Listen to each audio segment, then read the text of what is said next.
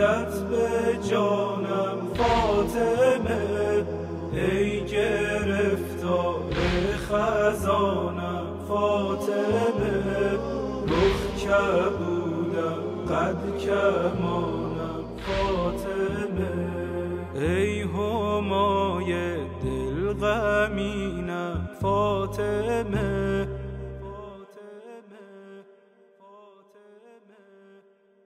ناهلت الجسم یعنی نحیف و دل شکسته میری. جوونی اما مادر پیری. بهونه سفر می‌گیری. باکیت یعنی بارون غصه ها می باره چشای مادر ما تاره. دیگه علی شده بیچار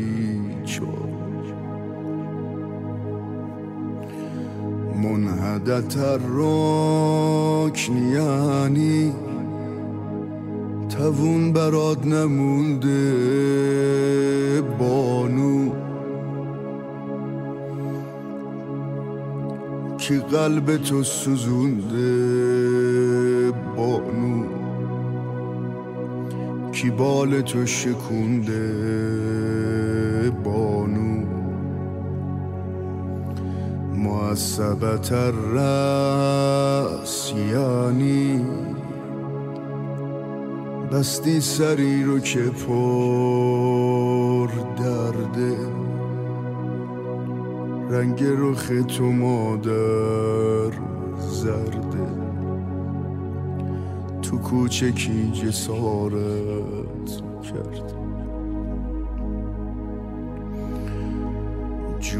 لگت خوردی که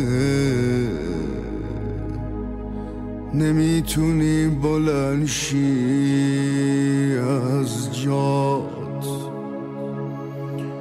جای غلاف رو بازوهات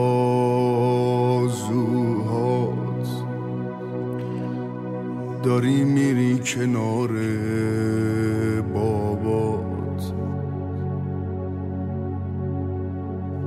کسی ای وای من. نگفت تو کوچه به اون کافر. نزد زن و جلوی شوهر. بمیر زینبت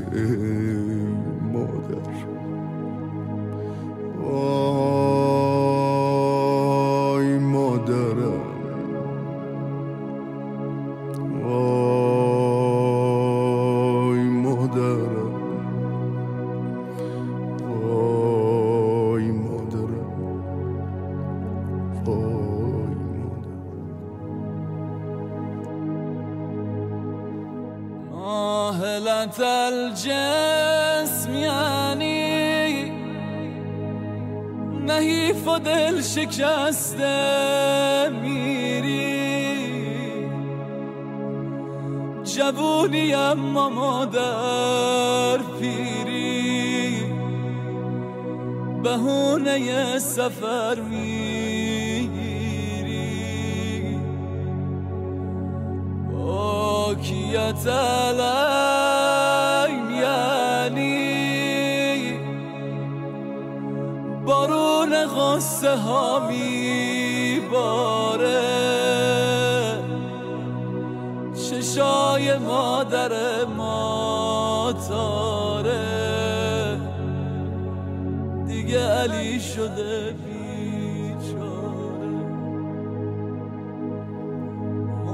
هدت رکن یعنی تمون برات نمونده بانو. کی قلب تو سوزونده؟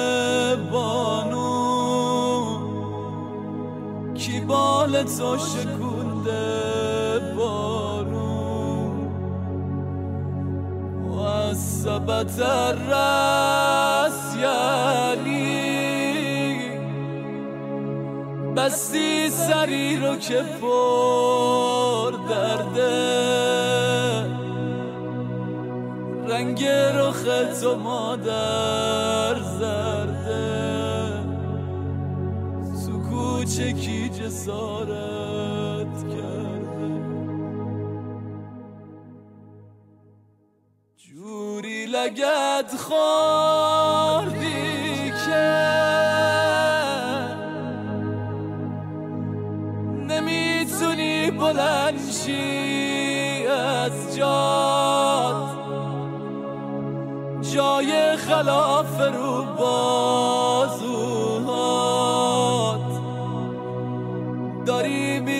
کنار بابات. هیچ کسی ای وای من. نگفت تو کوچه به اون کافر.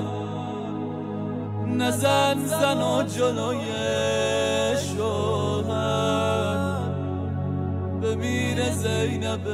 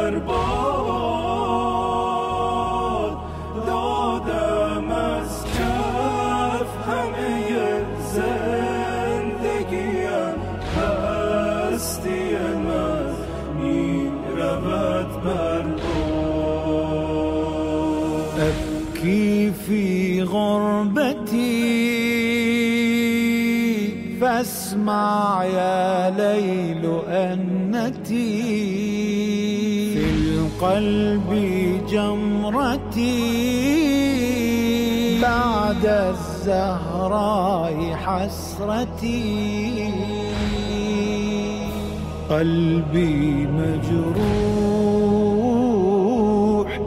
دمعي مسفوح.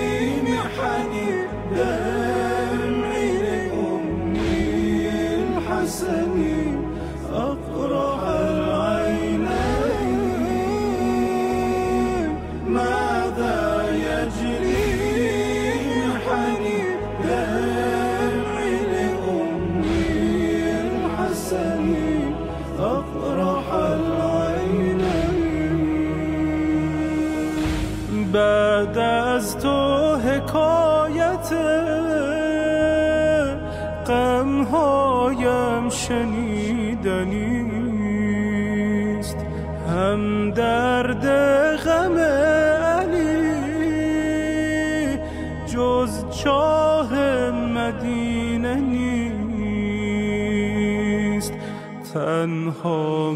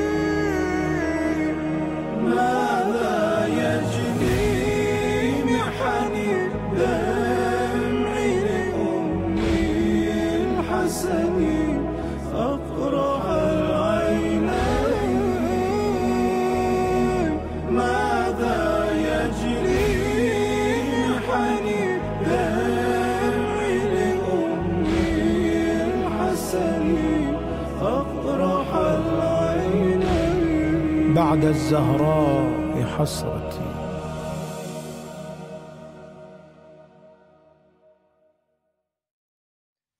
سلامتی و تعجیل در فرج آقا امام زمان علیه السلام صلواتی نلوفن اللهم صل علی محمد و محمد و عجل. اللهم صل على محمد. وآل محمد.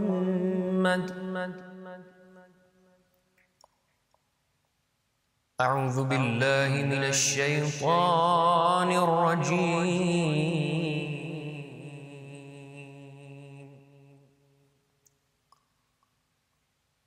بسم الله الرحمن الرحيم.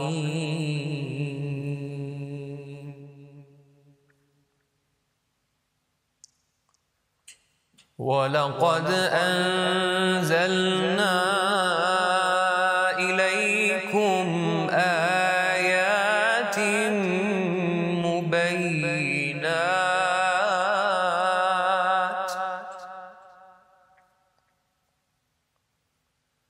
ومثلا من الذين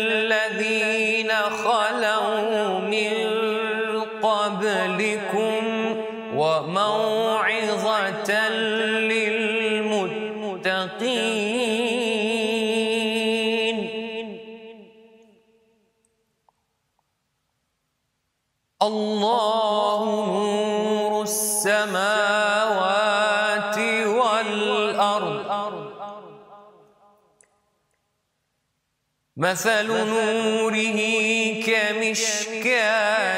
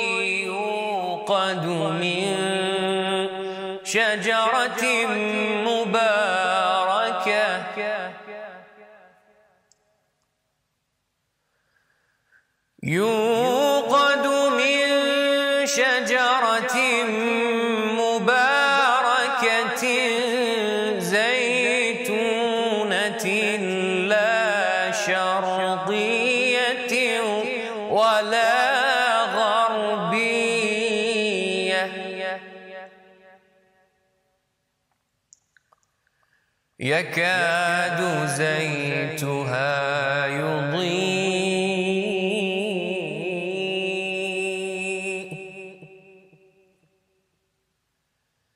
يكاد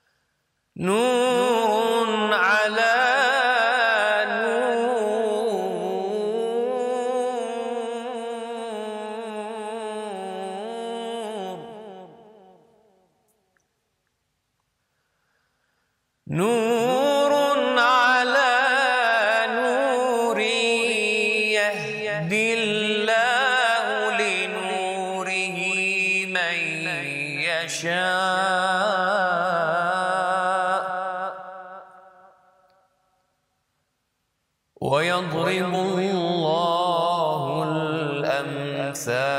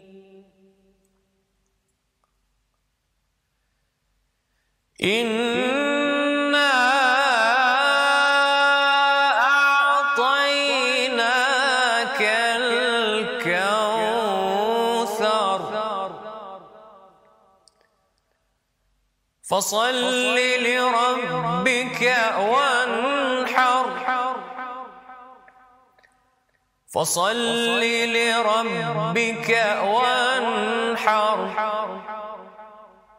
إن شانئك هو الأبتر. صدق الله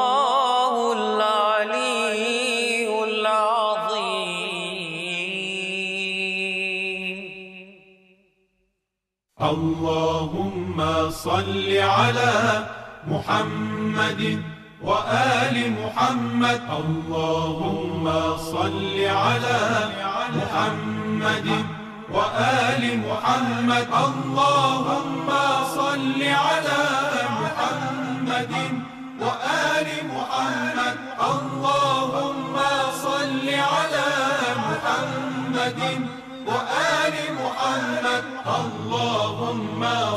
صل على محمد وآل محمد. اللهم صل على محمد وآل محمد. وعجل فرجهم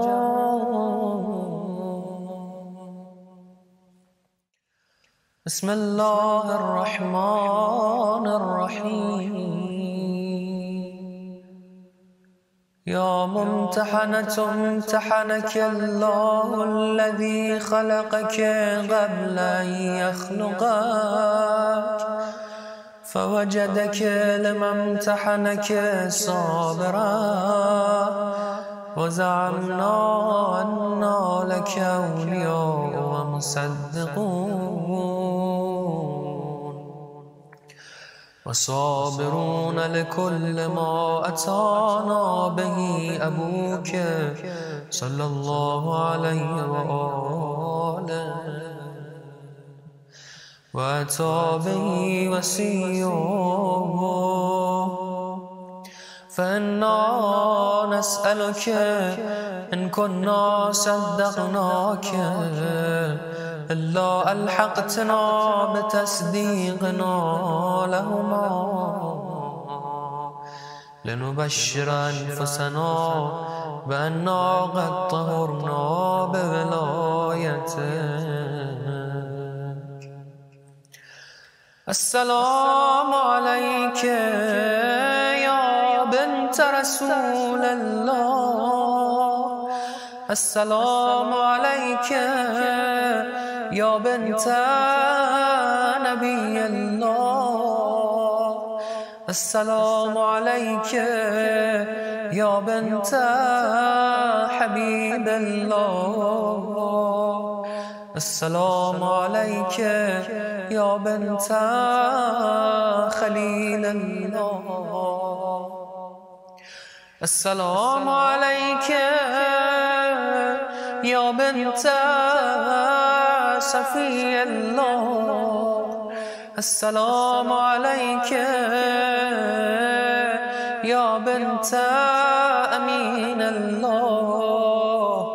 السلام عليك يا بنت خير خلق الله. السلام عليك يا بنت أفضل أنبياء الله. ورسله وملائكته. السلام عليك يا بنت خير البرية. السلام عليك يا سيدة نساء العالمين. من الأولين والآخرين. السلام عليك يا زوجة ولي الله وخير الخلق بعد رسول الله. السلام عليك يا أم الحسن والحسين سيدي شباب أهل الجنة. السلام عليك أيتها الصديقة الشهيدة. السلام عليك أيتها الرضية المرضية. السلام عليك أيتها الفاضلة الزكية.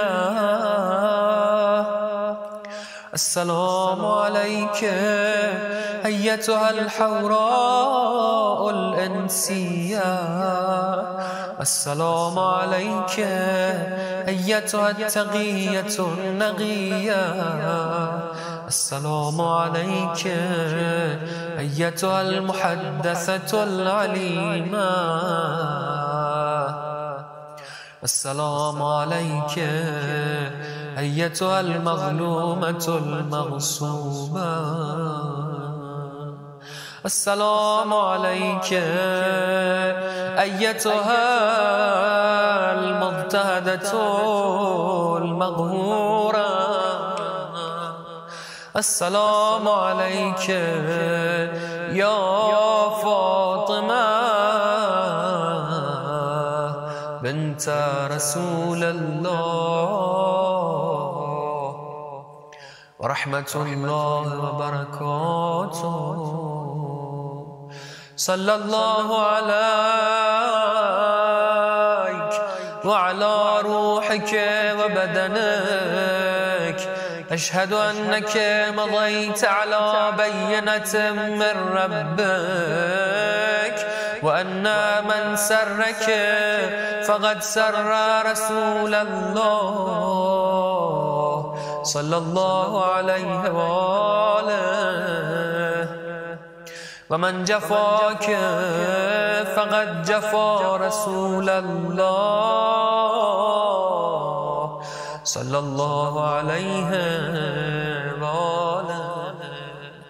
ومن آذاك فقد آذى رسول الله صلى الله عليه وآله. ومن وصلك فقد وصل رسول الله صلى الله عليه وآله. ومن قطعك فقد قطع رسول الله صلى الله عليه وآله. لأنك بضعة من وروحه الذي بين جنبي. واشهد الله ورسله وملائكته. أني راض عمن رضيت عنه.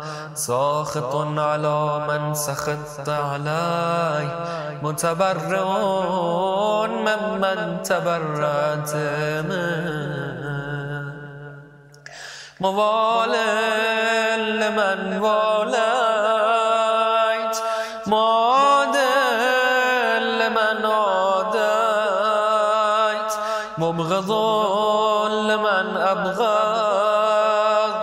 محب لمن أحببت.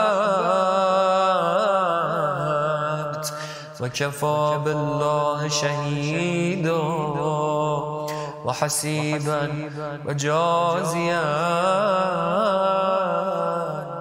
ومثيبا.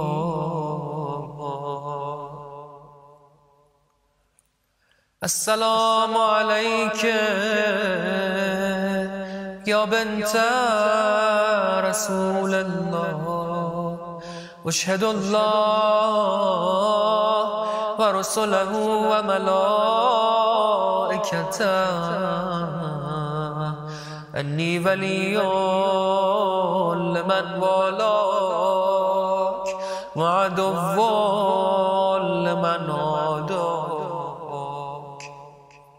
وحرب لمن حاربك أنا يا مولاتي بك وبأبيك وبعلك والأمة من ولدك موغن. وبولايتهم مؤمن ولطاعتهم ملتزم. أشهد أن الدين دينهم والحكم حكمهم. وهم قد بلغوا عن الله عز وجل. ودعوا إلى سبيل الله بالحكمة والموعظة الحسنة.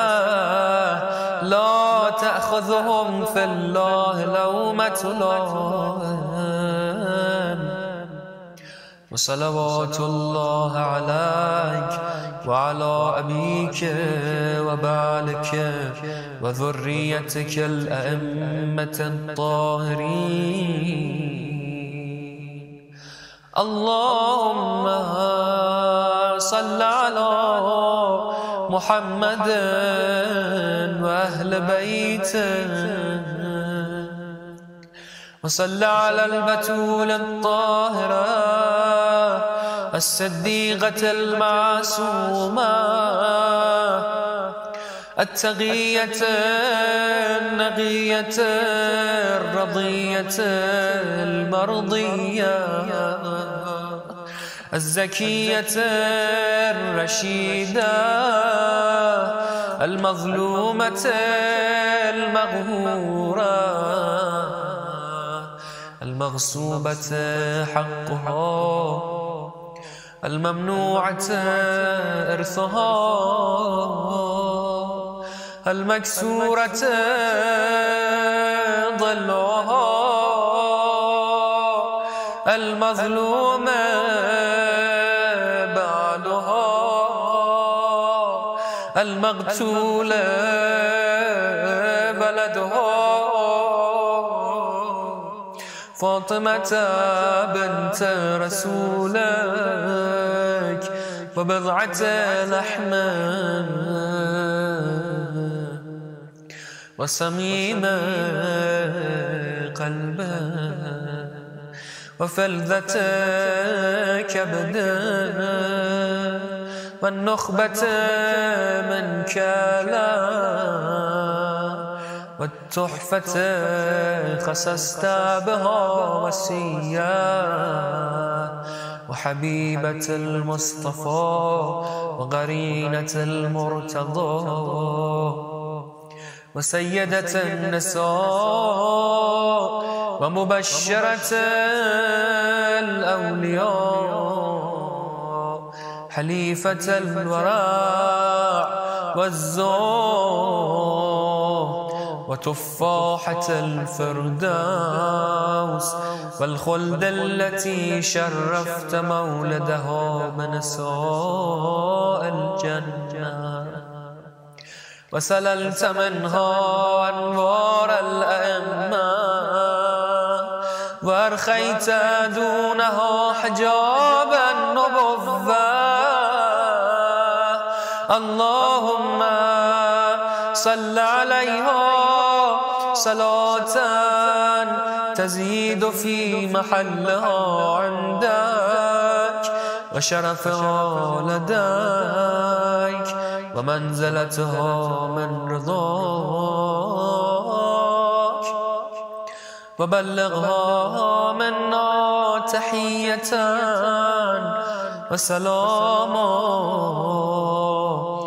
وآتنا من لدنك في حبها فضلا وإحسانا.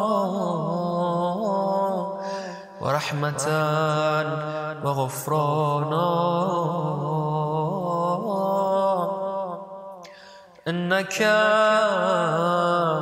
ذو العفو الكريم.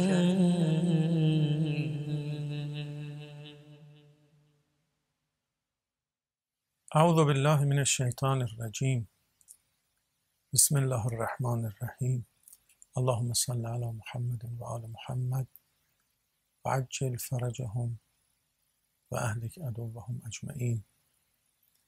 عرض سلام خدمت دوستان عزیز. ما توفیق داریم دومین جلسه رو خدمت سروران و عزیزان آل طاها دنبال کنیم.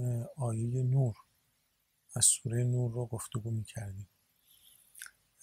اجازه بدین من دیگه مقدمه نگم. و مرور نکنم بحث رو. در آیه نور خدای متعال فرمودند که بسم الله الرحمن الرحیم الله نور السماوات و الارض خب انصافا که ما از الله که فهم تصوری که نداریم ما الله خوب می‌شناسیم. خیلی خیلی خوب خیلی خوب. و موقعی که بهش نیازمندیم از ته دل صداش می‌زنیم. اسماعش رو خوب بلدیم و اسماع او رو صدا می‌زنیم او رو یاد می‌کنیم دلمون آروم میشه. در معرفت ما نسبت به خدا هیچ کم و کاستی نیست به لطف خدا و به معرفی خدا. اما خب تصور نداریم که خدا طور نداره که راجب خدا که ما نمی‌توانیم حرف تشبیهی تفسیری بزنیم. خب خدا این که فرمودین الله نور السماوات و الارض چیه داستان؟ فرمود که مثل نورهی کمشکاتن من مثل نور رو براتون میگم. بعد فرمود و یضرب الله الامثال للناس. اه، این مثال ها رو ما برای مردم زدیم. من چند تا روایت می‌خوام خدمتون اشاره کنم. این روایات بعضیاش تو منابع اهل سنت آمده. بعضیاش تو منابع شیعه است.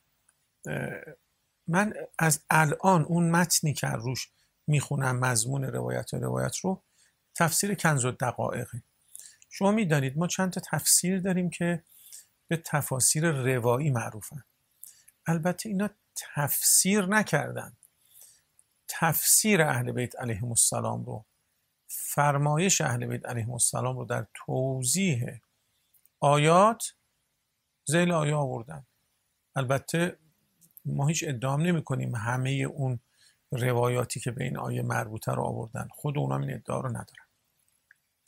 تفسیر نور الثقلین از این جمله است تفسیر برهان از این جمله است. تفسیر کنز و دقایق هم تقریبا روایت نور الثقلین رو تقریبا داره. مضافا به اینکه تو اون دوتا کتاب دیگه اینطور نیست. اینجا یه بحث لغوی یه بحث مقدماتی هم قبل از آوردن روایات داره. یعنی یک کمی به تفاسیر متداول بشری نزدیکتر از این جهتش. تفسیر کنز و دقایق سوره نور اگر روایتی می‌خونیم یا نکته نوعا از اینجا من دارم خدمتتون عرض می‌کنم. خاطر شریفتون باشه اون روایت رو عرض کردم. این روایت از کافی داره نقل میشه که یه خانومی آمد اجازه گرفت بر امام صادق علیه السلام وارد بشه. بعد آمدن خدمت حضرت. گفتن که خدای متعال اصلا چه قصدی داشته از اینکه گفته زیتونه لا شرقیه ولا غربیه؟ فقال لها ایت ایت المرأه حضرتشون بهش فرمودن که ای خانم ان الله تعالی لم یضرب الامثال للشجر. خدای متعال که این مثال رو برای درخت نزده که یا در این نسخه هست للشجره انما ضرب الامثال لبنی آدم. خدای متعال این امثال رو زدن. برای اینکه مردم بفهمن دیگه. ما آیه نور رو بخونیم. نفهمیم. یا آیه نور رو بخونیم. ببخشید فهم دیگران رو به عنوان کلام خدا بپذیریم. نمیشه دیگه. خدا داره مثل می‌زنه. در سوره نحل خدای متعال در سوره نحل آیه 74 خدای متعال می‌فهمند فلا تضربوا لله الامثال. ببین شما نمی‌تونید مثل بزنید. این مسئلش مسئله اینه این مسئلش مسئله اینه. چرا؟ چون ان الله یعلم و انتم لا تعلم لازمه اینکه کسی بتواند مثل بزند آن است که او عالم باشد آگاه باشد. هم از اون چیزی که می‌خواد این موضوع رو مثلش او قرار بده. حالا مثلا ما میگیم مشابهت. هم باید مبدع رو بدونه هم مقصد رو بدونه دیگه. بر همین هم حالا بر همین که نمی‌دونیم ولی آخر همین آیه نور خدای متعال فرمودن والله به کل شیء علیم. نه خدا نیاز به مثل داره. و اگرم مثل می‌زنه چون خدا علیمه. غیر خدا کسی نمی‌تونه مثل بزنه. اگر خدای متعال میفرمایند که مثلا این کمثل انکبوت این کمثل ریح فلان اینا رو خدا می‌دونه من که نمی‌دونم که. خب خدایی که خدای علیم همه چی. این که فرمودید مثل نور خدای متعال مثل نورهی کمشکاته خب اینو برای ما تبیین بفهمید که عرض کردیم دیگه. اینجا دیگه هر عاقلی که باید مراجعه کنیم به رسول خدا کما اینکه وقتی که آیه میاد برای اقامه سلات اقامه یعنی برپا داشتن. سلات یعنی توجه یعنی دعا. اگه قرآن به من بگه اقامه سلات کن اقامه سلات من چیکار کنم؟ چی رو برپا کنم؟ رسول خدا لازمه بیان به من فرمایش کنن که سلو کما رأیتمونی اصلی. ببینید من چیکار می‌کنم؟ این کار رو بکنید این میشه سلات. سلو نماز بگذارید. سلات به جای آورید. خب.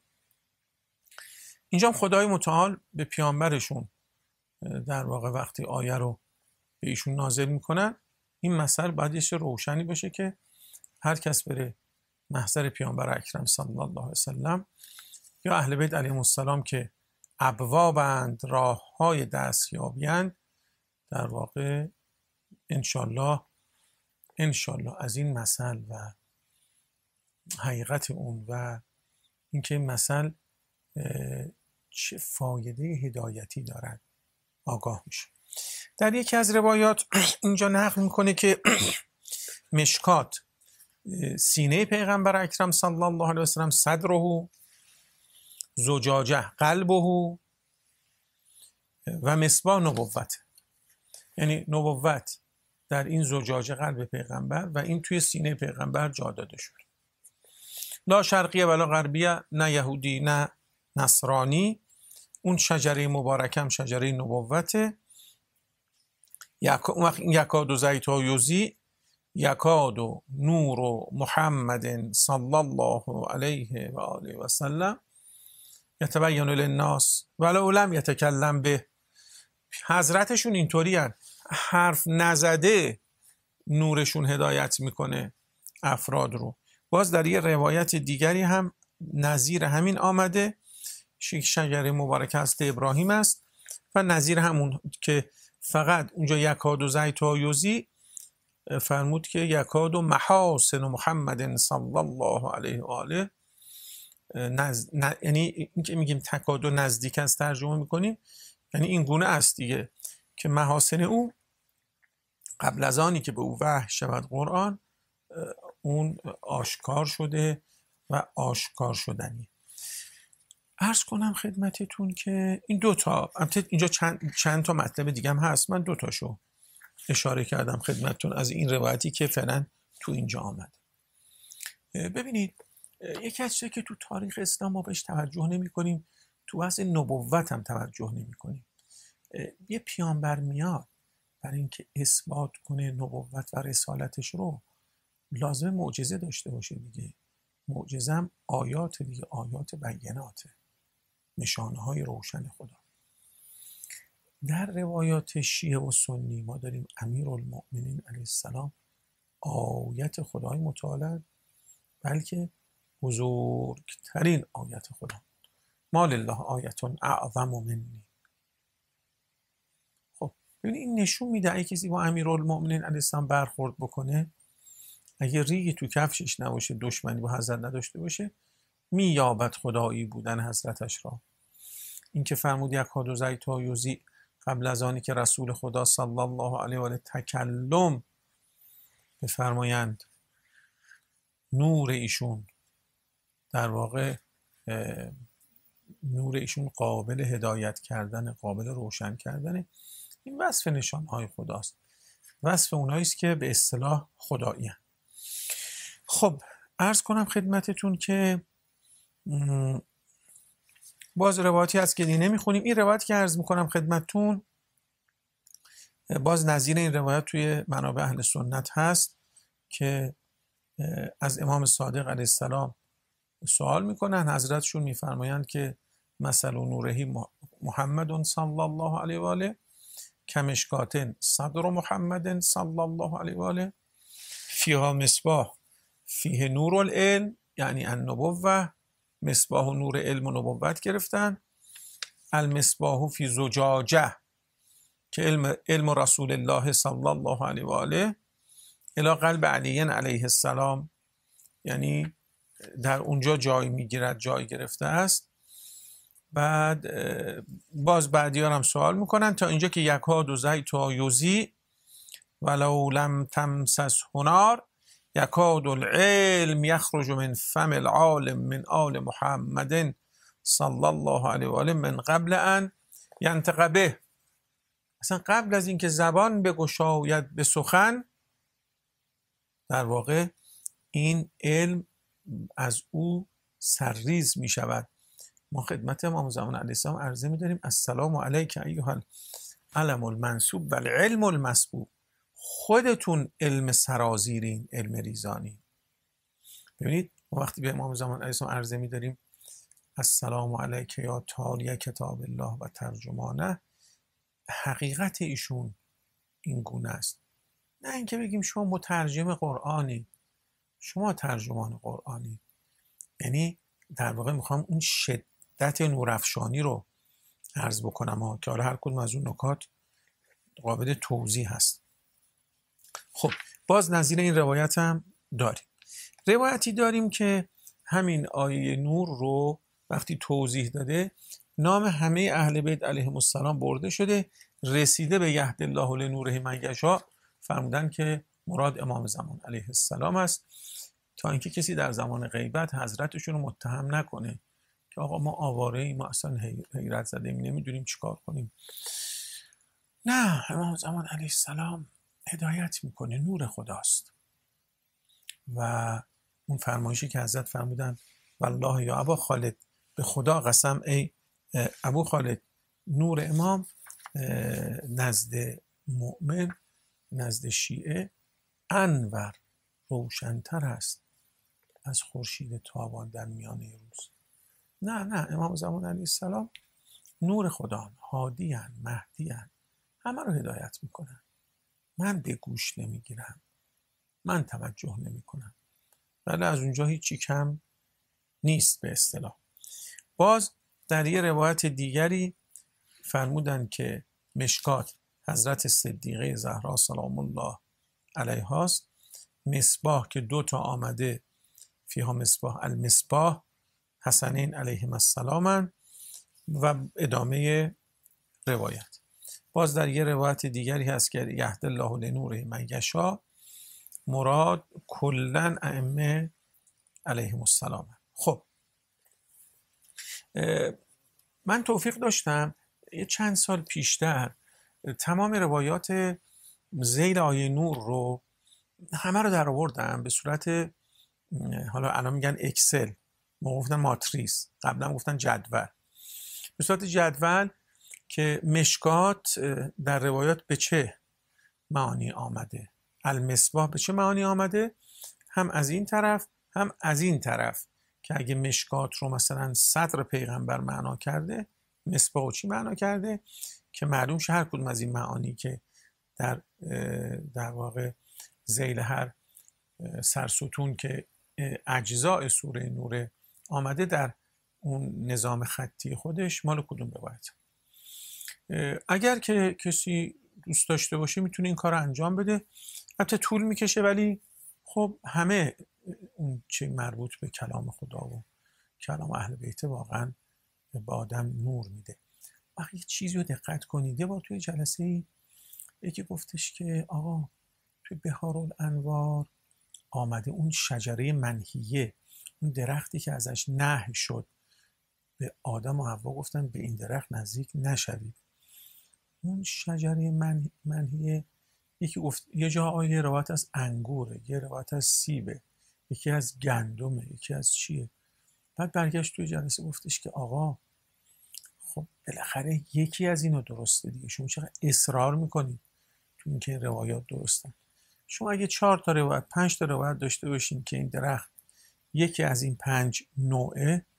اقل اقل چهار تا این روایت اشتباه دیگه. خب همه منتظر بودم خب ببینن چی باید گفت.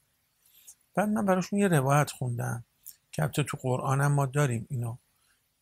روایت خوندم که حضرت فرمودن فرق درخت های بهشت با دنیا اینه. درخت بهشت یک درختش چند نوع میوه میده شد. عجب. من درخت بهشت رو با درخت دنیا قیاس کردم. بعد فکر کردم بعد تک میوه باشه. اومدم با روایات دیگری که راجع به حضرت آدم و اون شجره منحی است دارم درگیر میشم می‌خوام اینا رو نقد کنم. شما اگر دیدید در توضیح آیه نور مطالب مختلف آمده اینا رو حمله بر تعارض نکنید. نه اینا داره نکاتی از این آیه برای ما روشن می‌کنه. خب اجازه بدین من از اینجا عبور کنم. نمی‌خوام اصلا اینجا توقف بکنم چیزهایی که ما اینجا تونستیم یک کمی بهش یه چند ثانیه بیشتر نگاه کنیم. الله نور السماوات و الارض که گفتیم الله به لحاظ تصویر تصور اندیشه ای که بتونیم راجع به او فکر کنیم مثلا اینها. گفتیم غیر قابل دسترس. اما خدا مثل فرمودن مثل نور خدا مشکات است. توی بحث ما روایات زیادی داریم که مشکات حضرت صدیقه زهرا سلام الله علیها و اهل سنت هم اینو گفتن. بعد این مشکات اصلا کارش چیه؟ مشکات قرار نور رو حفظ کنه دیگه. حالا اون تفسیر نوره. تا می‌رسه به امام زمان علیه السلام. توجه کنید توجه فرمید ببینید مشکات همه اون که راجع مش... مشکات گفته شد توی این ظرفه. لذا هست صدیق ام الائمه است. همه فرزندان اویم اینت فرمودید. بعد دقت کنید. نور امیرالمؤمنین علیه السلام. اینی که عرض می‌کنم روایت عرض می‌کنم. حضرت فرمودن که اون روح که در واقع با این نور چه یه روح نور، نورانی این اون چیزیه که نزد ماست. به روایت روایتی که مربوط به روح القدس رو ببینید اینکه اهل بیت معید هستن به روح به روح القدس.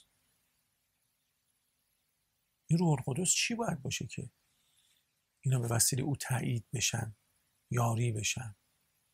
ها یعنی پایین تر از امامه؟ نمیشه خب امیر المؤمنین علیه السلام ابوالائمه حضرت صدیقه زهرا سلام الله ام الائمه خب همه اون چه که راجع به چراغ صحبت کردیم این چراغ مصباحی زجاجه دارد. نمی‌دونم خود زجاجش کوکب دریون است اون زیتش یکاد و زیت و یوزی همه اینا که گفتیم توی این مشکاته. خب امیر المؤمنین علیه السلام چی؟ اون نورن خب اصل مشکات چیکار باید بکنه؟ حافظ نور باید باشه آیه میگه یا نمیگه؟ اصلا مشکات مگه معناش این نیست تو لغت عرب اولین معنایی که ما کردیم بعد از مثل و نوره مشکات بود دیگه نه حالا من از شما سوال می‌کنم شما وقتی این آیه رو بخونید براتون سوال مطرح میشه که چرا در خانه امیرالمؤمنین علیه السلام می‌زنن؟ چرا هستی زهرا سلام الله علیها میان دم در؟ به لحاظ دنیاییش خب شما میگه آقا یه خانه است. معمولا تو خانه خانم خونه است توی مثلا فرض کنید حالا مثلا وقت روز احتمالا مرد خونه رفته مثلا جایی برای کاری چیزی. خب طبیعیه. شما به جای اینکه بگی چرا اینا در زدن بدون اجازه وارد شدن چرا حمله کردن چرا لگد زدن چرا آتش آوردن؟ بهش که اینا رو سوال کنی می‌پرسی چرا هست زهرا آمدن دم در؟ این سوال شو. خب خونه طرفه هر کی می‌تونه بیاد پشت در. که مشکلی نداره که. اما یادتون باشه حضرت اشاره کردن. گفتن رسول خدا صلی الله علیه و سلم به من گفتن علی جان. اینو خلیفه دوم اشاره کرد. وقتی آمدن در خانه حضرت زهرا سلام الله علیها امیر رو دیدن ترسیدن. گفتش که خلیفه دوم من عهدی که او با پیغمبر دارد را می‌دانم. او دست به شمشیر نمی‌بره. بریم تو. خب ارز کنم خدمتتون که اونجا اون چیزی که باید حفظ شه امیرالمؤمنین علیه السلام. علی جان اگه یاور نیافت نیافتی یاوری نیافتی هیچ کار نکن. امیرالمؤمنین علیه السلام به حسنین علیه السلام میفرمایند شما برین در قعر خانه. یعنی در دورترین نقطه خانه نسبت به این در در عمیقترین نقطه خانه. که اگر حمله شد آتشی شد حالا هر چی شد رفت جلو دیگه اون آخرین نقطه شما باشید که شما بمانید. بس امامت دیگه. خب یعنی امیرالمؤمنین علیه السلام یه تنه مثلا فرض کنید قیام کنه شهید بشه که چه اتفاقی بیفته؟ یعنی واقعا وقتی که سید و شهد علیه السلام اونجا نشستن میگن علی جان به علی اکبر علیه السلام میگن علت دنیا بعد اگر افا شما می‌خوان یه زندگی رو آباد کنید بگید جهان آباد شود امیرالمومنین بره کشته بشه. خب کی می‌خواد جای امیرالمومنین باشه؟ امام حسن علیه السلام. خب ایشون هم که میگیم باز به جنگ کشته بشه. خب اینا کشته بشن که چی بشه؟ لذا رسول خدا گفتن صلی الله علیه وسلم علی جان دین تویی. عمود دین تویی. همه چی دین نزد توه. ناطق قرآن تویی. عالم کتاب تویی. عالم احکام تویی. ببین خطبه قدیر رو بخونید علی جان مواظب باش. توته اینو تو رو بک... توته اینی که تو رو بکشن. یاور پیدا کردی قیام کن. پیدا نکردی هیچ کار نکن. خب حالا باید امیرالمومنین السلام حفظ شه. مصباح کی حفظ می‌کنه؟ نورو کی حفظ می‌کنه؟ مشکات. حالا این زمینیشه که حضرت میان در رو باز می‌کنن. ببینن کیه. بعد طرف در رو می‌زنه میاد تو اه. خب حالا از اون ور ببینید. حافظ امیرالمومنین السلام کیه؟ هست صدیقه زهرا سلام او ضربات رو می‌خوره که حضرت حفظ شه. ببینید ما داغ دل امیرالمؤمنین علیه السلام نمی‌فهمیم چیه. خب هیچ وقت هم نمی‌فهمیم. حضرت صدیقه زهرا سلام الله علیها این کتکی که خوردن ضرباتی خوردن برای امیرالمؤمنین خوردن. حالا ببخشید امیرالمؤمنین ما به اصطلاح خودمون میگیم. خیلی آدم خجالت می‌کشه. که یه نفری برای آدم کتک بخوره که آدم سالمه. درسته؟ خب حالا حضرت زهرا سلام رو باید حفظ بکنن همه ائمه رو ایشون حفظ می‌کنن ام الائمه و این نور رو ایشون حفظ می‌کنن. ایشان مشکات. وقتی شد مشکات توجه کنید کار مشکات قرار شد این باشه که آسیب ها و کوران ها و حوادث رو او بگیره که این نور بمونه. ازا ما روایت داریم. اونی که بیشترین مصیبت رو دید حضرت زهرا سلام الله. مصیبت نگین خب مثل حضرت نهایتا چند تا ضربه خوردن. نه الان مصیبت رو توضیح میدم خدمتتون. ببینید شما اگر براتون مشکلی پیش بیاد مثلا خدا نکرده دستتون رو ببرین مریض شین سردرد بگیرین تب کنید ناراحتین دیگه. اگه لازم باشه میرین دکتر لازم باشه دارو مصرف می‌کنید پانسمان می‌کنین میبندین بخواه یه کاری می‌کنین. ناراحتی. ناراحتیتون چند چند درجه است؟ مثلا میگیم که دو درجه سه درجه پنج درجه. خوبه؟ بچهتون اگه این اتفاق براش بیفته ناراحتی ناراحتی شما چند درجه است؟ خیلی بیشتر و مرتب میگیم که ای کاش من به جای این تب می‌کردم. حالا به شرطی که شما تو اون شرایط باشین ها. یعنی بچهتون تب بکنه توی تب بسوزه هیچی نتونه بخوره. آه بگه گریه کنه ناله کنه. وقت شما یه دفعه می‌بری. می‌بری. درسته؟ بنابراین اگه فرزند آسیب می‌بیند مصیبت والدینش بیشتر از فرزنده. دقت فرمودید اگه سید و شهدا علیه السلام به شهادت می‌رسن به اون شکل اونی که بیشتر ناراحته رسول خدا هست صدیقه امیر المومنین صلوات الله علیه اجمعین. درست شد؟ خب شما وقتی که مصیبت می‌کشین ناراحتین یه چیزی کدوم نقطه وجود شماست که بیشتر تحت فشار قلبتون درسته؟ قلب پیغمبر کیه؟ روح پیغمبر کیه؟ شیعه و سنی گفتن روح یلتی بین جنبه خب اگر رسول خدا ناراحته این ناراحتی فشارش رو قلب حضرته رو روح حضرته از اون طرف روایتی داریم که شیعه نقل کرده سنی نقل کرده و جالبه. این تنها روایتی که خلیفه اول و دوم شهادت دادن که ما این روایت رو با گوش خودمون از پیغمبر شنیدیم. که هر کس فاطمه زهرا سلام الله علیها رو در واقع آزرده خاطر بکنه و غضب بیاره اذیت بکنه.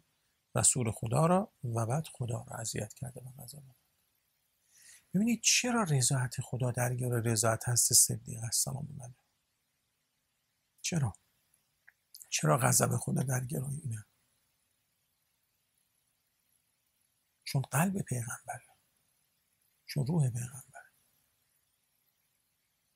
پس ببینید مصیبت رو فقط نبرین. توی مثلا ضرب و شتم و اون تعداد ضربایی که طرف خورده. نه نه. اگه ام الائمه است همه مصیبت ها اینجاست. لذا آیه حملت و امو کرهن رو تلاوت کنید آیه زیلش رو ببینید. وقتی که حضرت صدیقه زهرا سلام الله علیها حامل میشن به امام حسین علیه السلام وقتی خبردار میشن حملت و امهو کرهن. با ناراحتی این حمل رو حضرت در واقع اون شش ماه تحمل کرد. این معنای مشکاته. ببینید ما روی مشکات موندیم چون ایام مناسبه اینه. برای اینکه بگیم چرا خدا این مسئله رو زد؟ و چقدر این آیه وضوح داره تو این داستان که اون نور مشکات لازم داره. مصباح و این زیت و این زجاج همه اینا. یه مشکات لازم داره. درسته؟ حالا دیگه اگر کسی با سوال براش مطرح شد چرا حضرت صدیقه زهرا سلام الله علیها دم در آمدن؟ خب کافیه یه سر بره کربلا. حضرت زینب سلام الله علیها دختر ایشون رو ببینه که چجور برای دفاع از امام سجاد علیه السلام میان جلو. یعنی امام من, من دارم این جمله رو میگم. امام سجاد امام علی ابن حسین رو می‌خوان بکشید منو بکشید. من نمی‌ذارم بکشید. من. به اصطلاح میان سپر بلا میشن. میان جلو درسته؟ خب دیگه همه می‌دونید دیگه. در خانه هست صدیق سلام الله علیه هم همینطور الله نور السماوات و الارض اما یادتون باشه مثل نورهی که مشکات فیها مصباح بعد میشه تفصیلش. مثل مثل و نورهی توی روایت رسول خدا بود. مشکات هست صدیقه. اون نورم امیرالمؤمنین علیه السلام. یهد الله لنوره من یشا فرمود یضرب الله امثال للناس. مثال رو زدیم برای شما مردم ها. که کنجکاوی کنید بپرسید بفهمید و انشاءالله بهرش رو ببرید. خدا رو شکر می‌کنیم که یکی از آیات قرآن رو کمی بهش نزدیک شدیم با یه چند روایتی که از اهل بیت علیهم السلام متذکر شدیم. انشالله توفیق داشته باشیم قرآن بخونیم با هدایت و عنایت اهل بیت علیهم السلام. الحمد لله رب العالمین. و صلی الله علی سیدنا محمد و آله بسم الله الرحمن الرحيم. اللهم كن وليك الحجة ابن الحسن صلواتك عليه وعلى آبائه في هذه الساعة.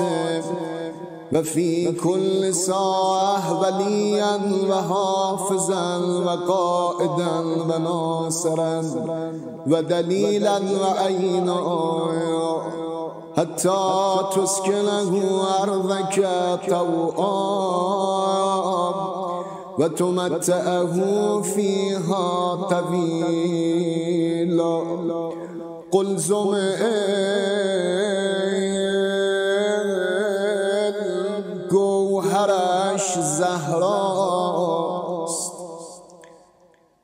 کشتی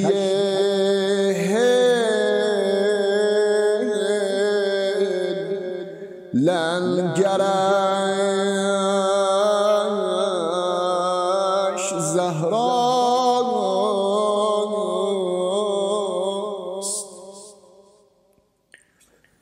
مصطفی آسمان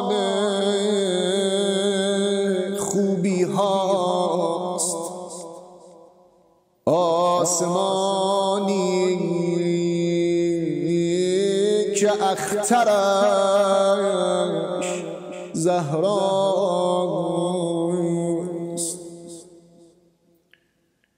دست او بوسه زد چون که می‌دانست. دست او بوسه زد چون که می‌دانست حافظ دین و دفترش زهراست زهراست دو امانت ز مصطفی باقیست دو امانت مصطفی باقیست یک کتاب و دو دیگرش. زهراست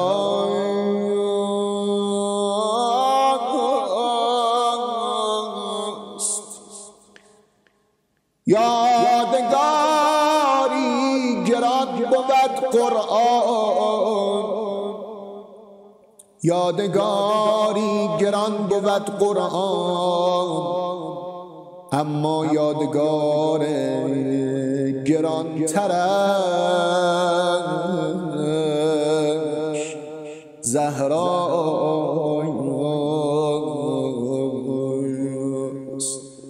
یادگار گران ترش زهراست خون پاک حسین و آثارش خون پاک حسین و آثارش اثر شیر مادرش زهراست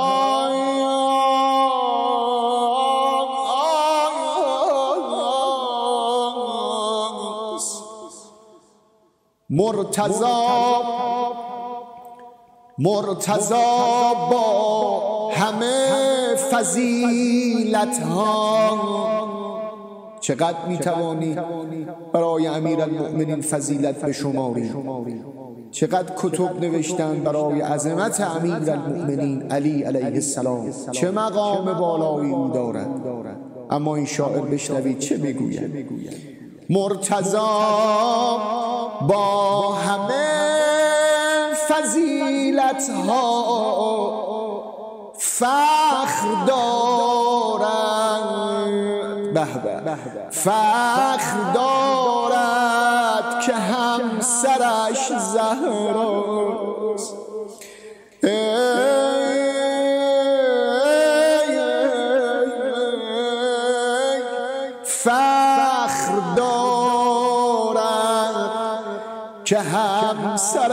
زهرا. جا داره شما عاشقان و دل باختگان زمزمه کنید و بگویید این زهرا را از علی گرفتن یا الله یا الله. اگر همه عالمم دشمن مولا می شدن اگر جواب سلامشو ندادن اگر حق مسلمشو قصد کردن اول مظلوم و قصب حقه اگر آزار و اذیتش کردن برادرها خواهرها این نکته نکته مهمی است اما همین که امیر المؤمنین وارد خانه می‌شد چشمانش به زهرایش میافتاد. همه هم و غم از چهره علی زدوده می‌شد. اما این زهرا را از علی گرفته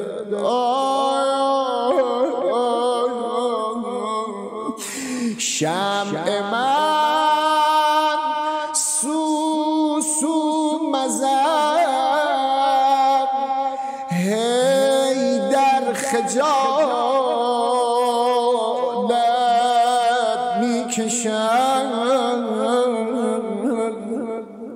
روزهای پایانی چه گذشته است به زهرای مرزیه چه حالی داشته؟ چه بستری پهن شده؟ و چه دختری گرد این بستر میگردد؟ و چه امیر المؤمنینی که این زانوهای غم به بغل گرفته داره ذره ذره زهرایش آب می‌شود. شمع من سو سو مزن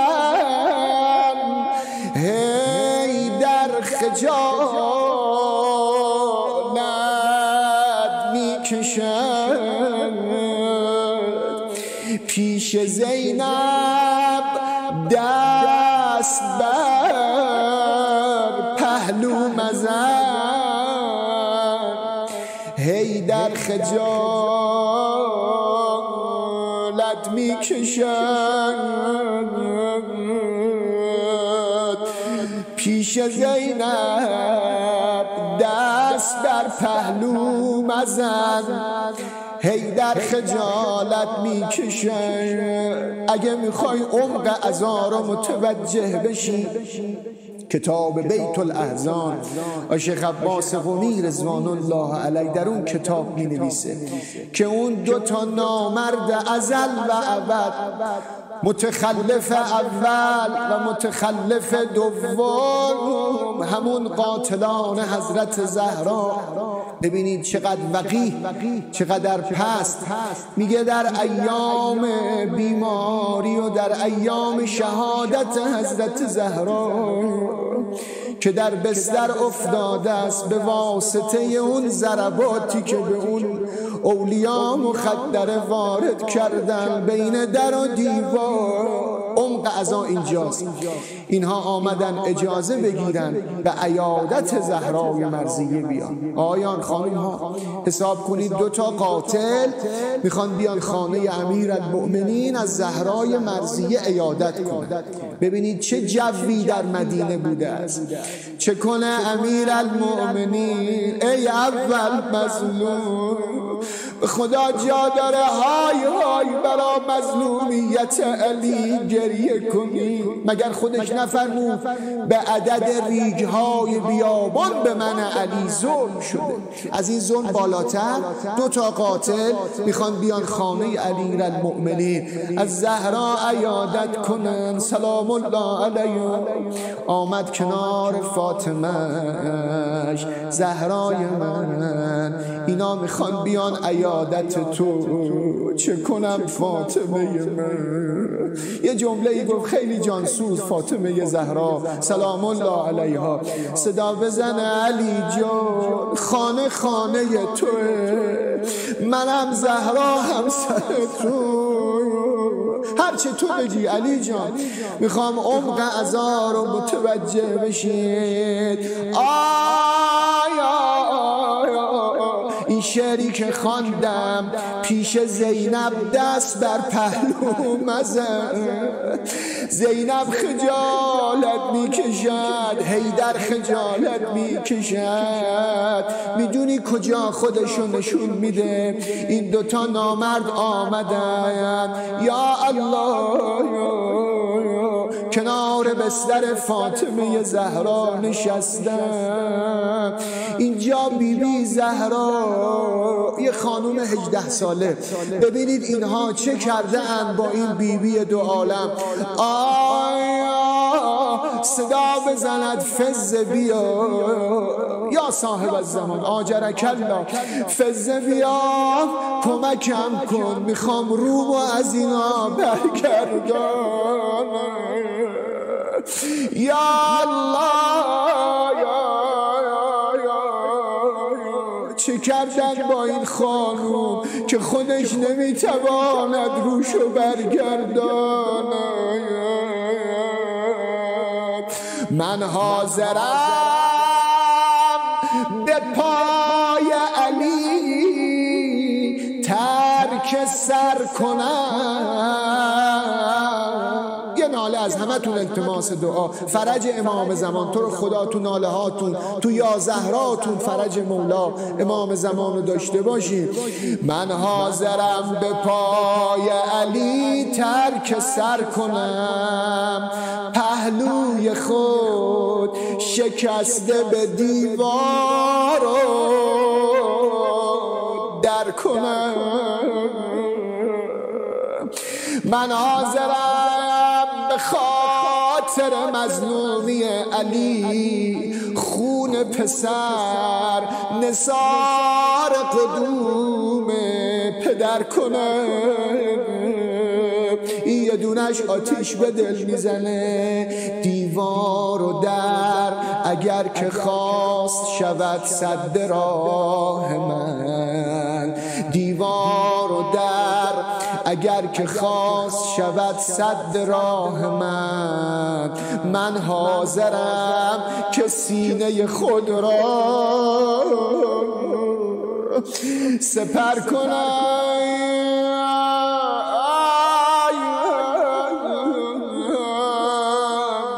من حاضرم که سینه خود را سپر کنم. علی جان شب عروسی ما برای تجهیز عروسی شنیدم سپر تو فروختی علی جان. علی جان اما الان زهرات سپر تو شده.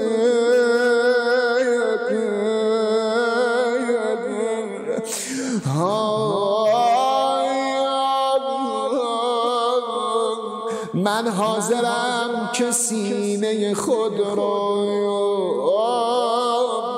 سپر کنم.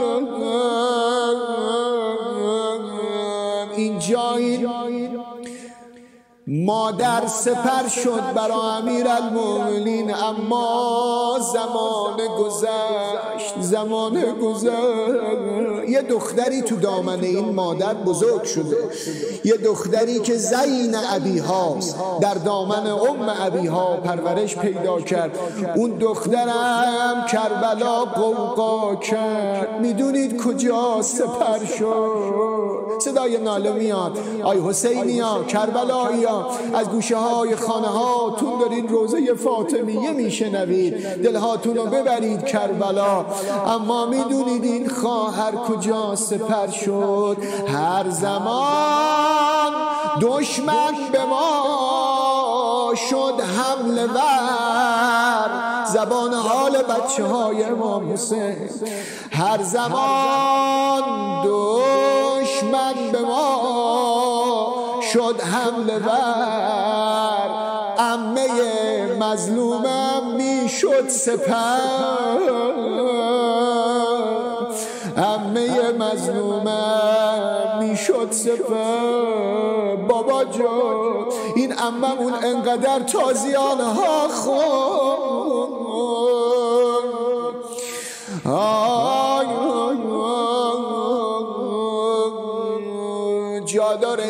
آیه قرآن رو همه با هم فریاد بزنید. الا لعنت الله